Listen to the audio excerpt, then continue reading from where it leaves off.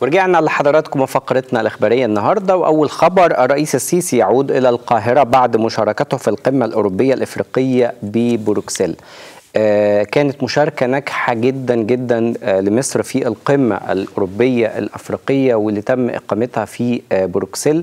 لقاءات يعني مكثفة للرئيس السيسي خلال على هامش القمة الإفريقية الأوروبية منها مع ملك بلجيكا منها مع الرئيس التونسي منها مع عدد آخر من الرؤساء المشاركين في القمة والتشاور والتباحث في كتير جدا من القضايا. لقاءات مستمرة مع رجال الأعمال في بلجيكا ل يعني جذب استثماراتهم لمصر. كمان كان في نتائج مهمة جدا للقمة منها اختيار مصر ضمن ست دول إفريقية لإنتاج اللقاحات الخاصة بكورونا. أفريقيا لحد دلوقتي تقريبا دخلها حوالي مليار و300 لقاح أنتجت منهم تقريبا 1% حاجة كده يعني. يعني كلام فاضي. فلما يبقى المش... يعني الشراكة الأفريقية الأوروبية في هذا الإطار وتقدير دور مصر البالغ في القمة دي حاجة مهمة جدا وحاجة محترمة جدا. أنا بشوفها إن هي من القمم الناجحة بكل المقاييس ومصر استفادت جدا من هذا من هذه اللقاءات. وأنا يمكن قلت الحلقة اللي فاتت إن مشاركة مصر سواء في خلال الكام يوم اللي فاتوا في الصين في افتتاح دورة ألعاب رياضية أو في باريس في قمة أخرى أو في بروكسل في بلجيكا كلها بت بت يعني بتظهر دور مصر البارز على الساحة الدولية من ناحية وفيها استفادة كبيرة جدا سياسيا واقتصاديا لمصر. تاني خبر معانا مشاهدينا عن بداية ال term الثاني في بعض محافظات الجمهورية بيقول انطلاق الفصل الدراسي الثاني لطلاب المدارس اليوم وسط إجراءات احترازية مشددة كانت وزارة التربية والتعليم والتعليم الفني وجهت المديريات باتباع كافة الإجراءات الاحترازية والوقائية والتباعد الاجتماعي بين الطلبة جوه الفصول نفسها وكمان خارجها أثناء البريكات وكده. حفاظا على صحة الطلاب والمعلمين وكمان جميع العاملين بسبب بسبب انتشار كورونا طلبت وزارة التربية والتعليم كل المدارس تطهير وتعقيم المدارس قبل بداية الترم الثاني أكيد طبعا في بداية اليوم هيكون في الكلام ده بشكل يومي والإشراف اليومي والتزام مشرفي الأدوار بأماكنهم. أثناء اليوم الدراسي كمان بنطالب زي ما قلنا في الفقرة اللي فاتت أي ولي أمر يشوف إن في أي أعراض تخص شبيهة بأعراض كورونا يا ريت يخلي ولاده في البيت. كمان من النهارده معانا تقرير حلو خالص. لما نشوف شابة اسمها بركة اسمها حلو. آه اسمها جميل طبعا. قدرت هي بركة وهي بركة الحقيقة يعني. رغم الصعوبات اللي بتقابلها رغم عندها يعني عجز في في جسمها تقدر تكون تعمل حاجات كتيرة جدا وتقدر تتحدى. وإحنا اللي فينا شوية يبقى عنده شوية صداع يقول لك أنا مش قادر أعمل أنا مليت. أصلا أنا رحت خبطت على بيوت كتير عشان أشتغل وشركات كتيرة وقالوا لي لأ. ونقعد نحبط نفسنا نقعد ندخل لنفسنا الإحباط. لكن لما نشوف حد متميز حد من ذوي الهمم أو ذوي الاحتياجات الخاصة. بركة كمال شنودة من محافظة أسيوط. نشوف التقرير ونرجع تاني. أنا لما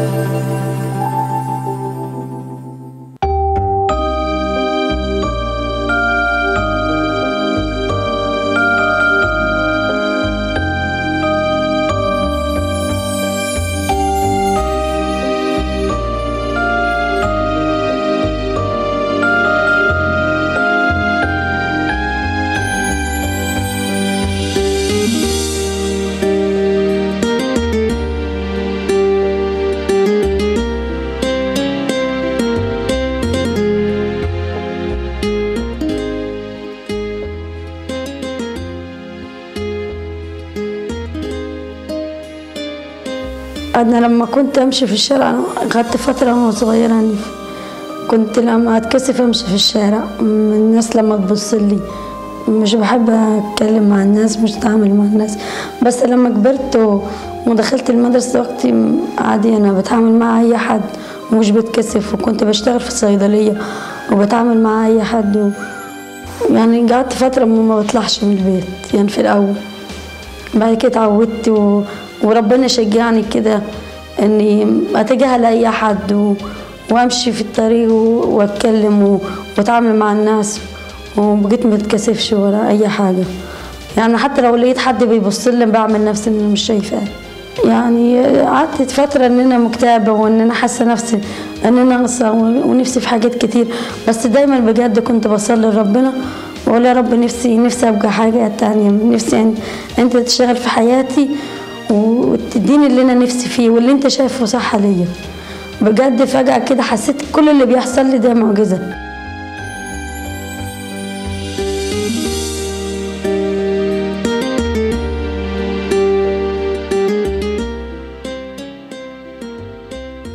بعمل شغل البيت وبخيط على المكنة وعايشة يعني كويس يعني ربنا معايا مساعدني مش بيصعب عليا أي حاجة. أنا حبيت إن يكون معايا شهادة يعني أحس نفسي إن أثبت وجودي يعني زي زي أي حد. أنا بعرف أقرأ وأكتب أي حاجة بس أنا حابة إن أنا أتعلم. رحت فصول المحامية وتعلمت وخدت الشهادة و... وكملت في المدرسة. أنا حاليا في سنة تانية إعدادي. بتعامل طبيعي يعني مش حاسة إن ناقصني حاجة. مع أخواتي ومع جيراني ومع أصحابي. أنا نفسي في أكمل تعليمي وأوصل للشهادة اللي أنا عايزاها كلية. ونفسي يبقى عندي أطفال.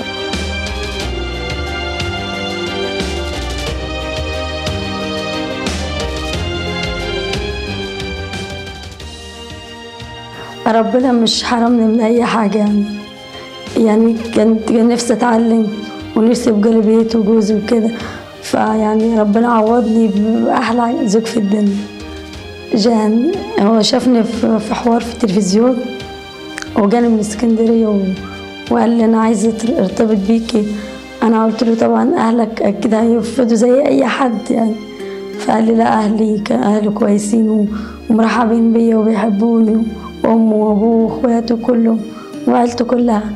واتحدى الدنيا كلها وقال لهم أنا مش هاخد غير بركة. كمل معايا وبيساعدني في كل حاجة وبيحبني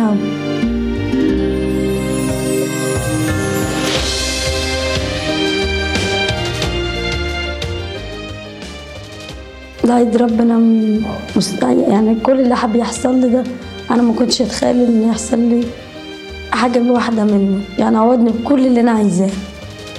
بالتعليم وبزوج والبي... حتى البيت اللي أنا عايشة فيه ما كانش كان قديم ووحش. كان نفسي أبقى في بيت حلو وربنا اداني. واداني جان ده بالدنيا دي كلها.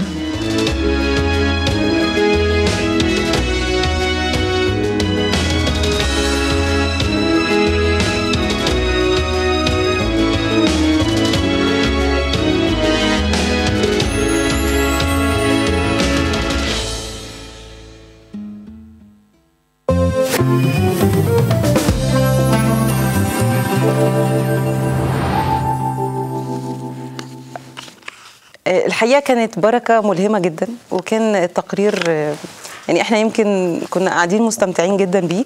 عايزة أقول لك شكرا يا بركة. شكرا إنك ملهمة لناس كتير وشكرا إنك أنت بتدي دروس باللي أنت عملتيه ده. وأتمنى إن كل حد شافنا وشاف التقرير ياخد درس من اللي هو شافه لأنه أنا نفسي حسيت إنه لسه قدامي كتير. صحيح. لسه قدامي كتير. عايز أقول لها لك من اسمك نصيب. أنت بركة يا بركة يعني. وجميلة قوي كمان شكلها حلو. آه، معانا مشاهدينا دلوقتي أخبار الطقس. زي ما قلنا لكم من شوية كان في شتاء بره. خلينا نتكلم عن حالة الجو. أمطار وانخفاض مفاجئ في درجات الحرارة. هيئة الأرصاد الجوية عن انخفاض ملحوظ قالت إن في انخفاض ملحوظ في درجات الحرارة بمعدل أربع درجات في الدرجة العظمى. بيتوقع خبراء هيئة الأرصاد إن البلاد هتشهد النهارده طقس بارد وغائم نهارا على القاهرة وعلى الوجه البحري وشمال الصعيد آه، والسواحل الشمالية. ودافي طبعا على جنوب سيناء وجنوب الصعيد لكن بالليل هيكون الطقس الشديد البروده عن درجات الحرارة المفروض هنشوفها حالا دلوقتي معانا.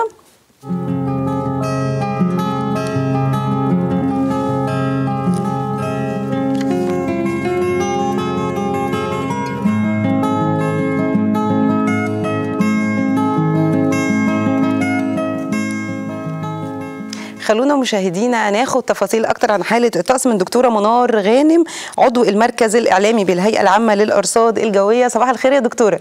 صباح الخير على حضرتك أستاذ أميرة واستاذ صباح الفل. وكل السادة. المشاهدين. أهلا بحضرتك. صباح الخير. يا فندم على حضرتك. عايزين نعرف آه، تفاصيل أكتر عن الجو النهارده والفترة الجاية كمان.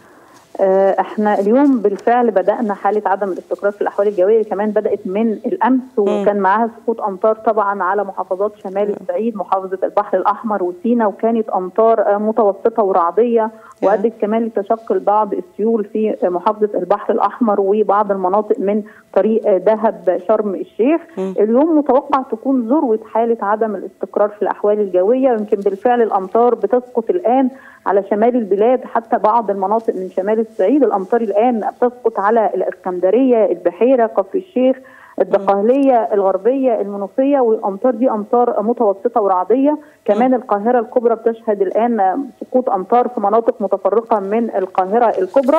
متوقع اليوم إن شاء الله تكون ذروة حالة عدم الاستقرار في الأحوال الجوية باستمرار فرص سقوط الأمطار على مدار اليوم. والأمطار دي هتكون أمطار آه، متوسطة على بعض المناطق من مدن القناة. قد تصل لحد السيول على بعض المناطق من سيناء ومحافظة البحر الأحمر وشمال الصعيد. الأمطار دي ننوه إن هي تكون رعدية أحيانا. أيضا القاهرة الكبرى هيصاحبها هيكون فيها فرص لسقوط الأمطار على مدار اليوم خفيفة إلى متوسطة وهتكون رعدية أحيانا على محافظات الوجه البحري والقاهرة الكبرى. ننوه إن الأمطار بتكون على فترات متقطعة يعني إحنا الآن بنشهد سقوط أمطار. بعد شوية ممكن الأمطار يحصل لها انقطاع وتعود مرة أخرى فعلى مدار اليوم الأمطار هتفضل مستمرة. كمان اليوم في نشاط للرياح على أغلب مناطق الجمهورية. نشاط الرياح ده بيزود إحساسنا أكتر بانخفاض درجات الحرارة وبرودة الطقس وقد يكون مثير لبعض الرمال والأتربة خاصة في المناطق الصحراوية والمناطق المكشوفة. طبعا هيكون مصاحب كمان للسحب الرعدية. خلال ساعات النهار هنبدأ نشعر بالطقس إن هو بارد خلال فترة النهار. شديد البرودة خلال فترة الليل. طبعا درجات الحرارة بتنخفض بحوالي 3 ل 4 درجات عن القيم اللي إحنا من كنا بنسجلها خلال الأيام الماضية. آه، متوقع كمان اليوم يكون في تساقط للثلوج على مرتفعات سانت كاترين. زي ما بنقول إن النهارده ذروة حالة عدم الاستقرار في الأحوال الجوية. متوقع إن شاء الله من صباح غدا نبدأ نشعر بتحسن في الأحوال الجوية. نشعر باستقرار في الأحوال الجوية على أغلب مناطق الجمهورية. الامطار هتنحصر فقط. على بعض المناطق اللي موجودة في سيناء ومحافظة البحر الأحمر وكمان كمياتها هتبقى أقل هتكون أمطار خفيفة متوسطة. باقي قطاعات الجمهورية هيكون فيها استقرار في الأحوال الجوية وكمان ارتفاع تدريجي في درجات الحرارة وده اللي هيكمل معانا إن شاء الله لليوم الثلاثاء القادم. إن شاء الله يا دكتورة. آه، بنشكر حضرتك جدا دكتورة منار غانم عضو المركز الإعلامي بالهيئة العامة للأرصاد الجوية. شكرا يا فندم. شركة تاون جاس وهي أحد إحدى الشركات التابعة لوزارة البترول. والخ... اللي بتوصل الغاز الطبيعي للبيوت آه، خلاها يعني تفاعلا مع أحوال الطقس اليومين دول إن هي تصدر بيان تنبه الناس عشان يخلوا بالهم. وإحنا يمكن اتكلمنا في الموضوع ده من يومين. بتقول توجه خمس نصائح لمستخدمي سخانات الغاز خلال موجة الطقس الباردة. بيقولوا لنا إيه بقى؟ بيقولوا لنا ما حدش يلعب في السخان ال- الغاز أو اللجوء لأشخاص غير مؤهلين. يعني لو سخان الغاز حصل فيه حاجة ما تقعدش تدور في الشارع عندكم هو مين هنا ينفع يلعب في سخان الغاز؟ أنتوا عارفين هو إحنا عندنا؟ أو هو نفسه تلاقيه هو. نفسه يصلحها آه. إحنا عندنا النجار يقول لك بص ما دام هتدفع فلوس أنا بفهم في الغاز. لا اللي مش عارف بتاع إيه يقول لك أنا بفهم. واي حد بقى يفهم في أي حاجة دلوقتي. فأرجوك بيقول لك لو حصل حاجة في سخان الغاز تكلم الشركة المسؤولة وهم اللي يجوا بنفسهم يصلحوا الغاز. كمان آه، قالوا إن هم وجدوا في الفترة الأخيرة ناس كتيرة بتسد فتحات التهوية في الحمامات. عشان شكلها وحش مش عاجبهم. أصله بتجيب تراب أصله بتجيب ساعات نور أصله ممكن حشرات. حد يشوفنا من المنور اصل ممكن بتدخل حشرات أو أي حاجة من الحاجات دي. فبيقول لك عدم العبث نهائيا بهم بهمات ال- الغاز الطبيعي أو اللجوء لأشخاص غير مؤهلين. عدم سد فتحات التهوية الخاصة بالسخانات نهائيا إذا يلجأ بعض العملاء إلى إلغائها أو سدها بمعرفتهم وخصوصا مع برود الطقس في مثل هذا الأيام. يقول لك أنا اقفل فتحة التهوية عشان بتجيب برد بقى. اللي يقول لك بتجيب برد وفي الصيف بتجيب معرفش إيه. فيقول لك ما تعملش كده خالص. لأ إيه ليه بقى بنقول كده؟ وليه شركة الغاز أصدرت هذا ال- البيان؟ لأن الموضوع زاد عن اللزوم. يعني إيه واحد داخل ياخد دش يموت؟ فالناس بتموت يعني ومن غير ما تحس يعني من من بخار المية ومن آه، يعني غلق النوافذ بشكل كبير جدا. برضو بيقول لك ما تقعدش تقفل الشبابيك كلها في البيت يا سيدي بقى سيب شوية تهوية كده بس هوي البيت كده في بداية ال ال اليوم. فأرجوكم نخلي بالنا ده بيان رسمي من شركة الغاز. معانا خبر مشاهدينا عن أسعار الذهب. النهارده بتقول إنه بيشهد استقرار ملحوظ. معانا عيار الذهب عيار 21 هيبقى الجرام فيه 827 جنيه للجرام عيار 24 آه، 939 جنيه. سعر جرام الذهب عيار 21 827 جنيه. كمان معانا آه، سعر جرام الذهب العيار 18 ده بيعتبر الأقل تكلفة وفي التغيرات بتاعته اللي يبلغ 706 جنيه في التعاملات وده الاكثر مبيعا بالوجه البحري. أخيرا سعر الجنيه الذهب اليوم 6616 جنيه. ومن أسعار الذهب إلى أسعار السمك. السمك. النهارده في السوق الأخبار وأسعاره عاملة إزاي؟ أستاذ هاني حسني أحد تجار السمك بسوق العبور. أستاذ هاني أهلا بيك. أهلا بحضرتك طبعا. أنا آسف أستاذ وائل حسني. أستاذ وائل أهلا بحضرتك. الحمد لله بخير الحمد لله بخير. بطبع مشاهدين تيجي في كل العالم كله طبعا. أخبار السمك إيه؟ أسعاره إيه النهارده؟ الحمد لله بالنسبة للطقس اللي بتمر بيه البلاد الحمد لله الأسعار مش مرتفعة الحمد لله. البولت بيعمل من 23 ل 25 وفي 26 برضه في الجملة. تمام. آه لا أنا مش عايز أسعار يا 50 أستاذ أستاذ وائل أنا مش عايز تقول لي أسعار الجملة أنا عايز تقول لي السعر اللي اللي, أنا أنزل النهارده ألاقي بيه عشان.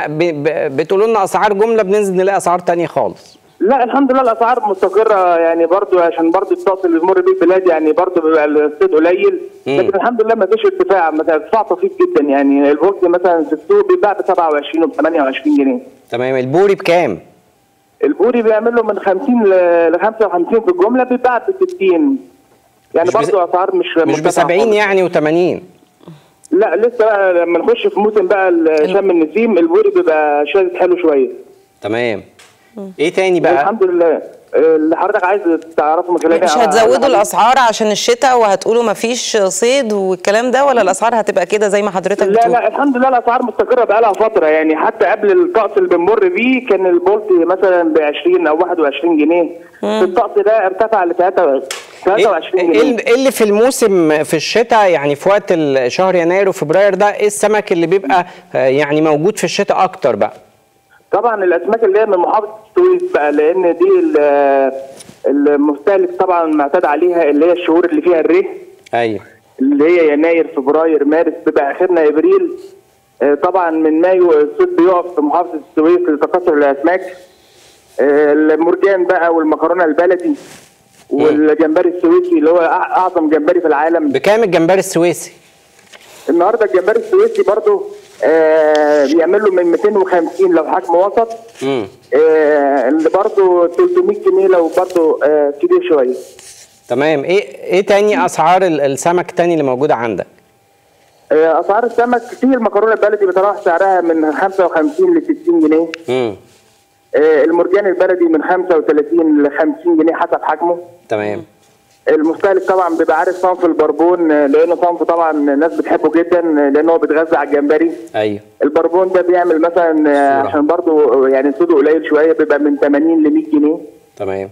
وبرضه حسب حجمه بيزيد سعره. اشكرك جدا يا أستاذ وائل على حضرتك وأنا شرفت بحضرتك ومشاهدين سي في كلهم. شكرا شكرا يا أستاذ وائل. أستاذ وائل حسني أحد تجار السمك بسوق ال- ال- العبور. الحقيقة أنا معايا خبر هو مش مفرحني هو خبر عن آه، وقعة تنمر حصلت بس المرة دي مش مع طفل أو بنت حصلت مع راجل مسن وكان بيرتدي آه، بدلة عامل نظافة وفي محافظة الغربية تحديدا في جمهورية زفتة الخبر بيقول إن شهد شارع كورنيش النيل بمحافظة زفتة وقعة تنمر أقدم مجموعة من الشباب على الاعتداء على عجوز بيرتدي بدلة عامل نظافة وده أثار غضب المرة بسبب الإهانة اللي شهدها المجني عليه. كمان بيقول إن مش بس كده بدأوا مش بس تعدي لا في تعدي لفظي كمان.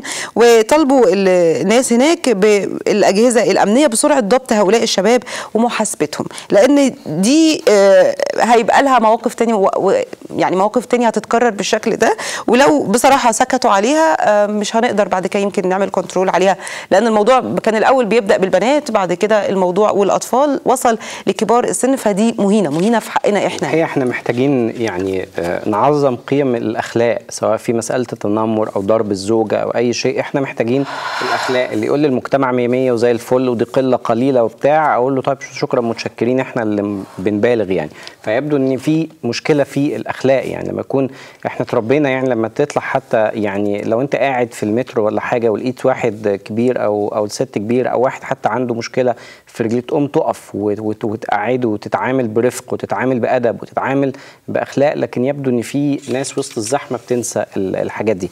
أنا معلش أنا عايز أختم بس بخبر آه، بشوف إن هو من الأخبار ممكن تفرح ناس آه، كتير. آه عشان إحنا نكدنا عليه النهارده كتير.